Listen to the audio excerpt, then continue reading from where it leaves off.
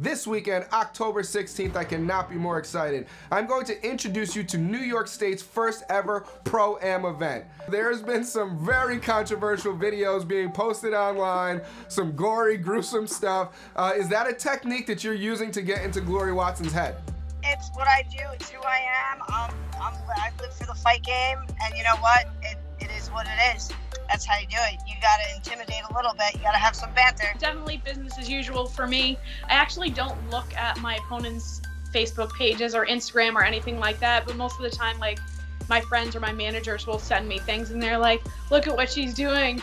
and it's just, I'm like, okay, it's cool it's cool. You do you. I get it. This is being slated as like this good versus evil, light versus dark. So is that something that you use, like kind of like the polar opposite of what she does, is, and, and kind of stay light, Glory? I guess that really what it is for me is I just love this so much, and fighting is what I want to do. It's everything to me. So it's I'm happy doing it, and it just comes out. Can't hide it. I just smile all the time. Glory, if you know, worst case scenario, and you end up on the wrong side of a decision or a loss, will you get a face or neck tattoo? Uh, most definitely not. I have tattoos like on my arm, but like it got like near my elbow, and I'm like, oh my gosh, no. Rebecca, uh, worst case scenario, and you come on the wrong side of a decision or a loss, will you get one of your tattoos removed? Nah, absolutely not. No. Hey, I'll get more tattoos. I do have something to say. Here, I'm. I am the devil, and I am here to do the devil's work.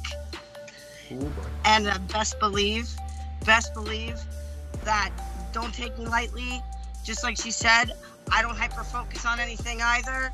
You know, and we don't know what happens until we get in there. So, may the best side win. This is my path, and you're the next obstacle in the way. So, let's do this. Guys, October 16th, you can get the pay-per-view, flexfightseries.com, flexfights.com. Um, you can follow us at flexfightseries on Instagram, and again, get the pay-per-view at flexfights.com. Make sure you select one of these two fighters. Uh, even if you're just a fan, select their name and show their, you know, show your support for these new fighters. Um, they're coming up, trying to uh, etch their name into the books. Uh, so definitely support them. Thank you guys again, and, and good luck on uh, Saturday.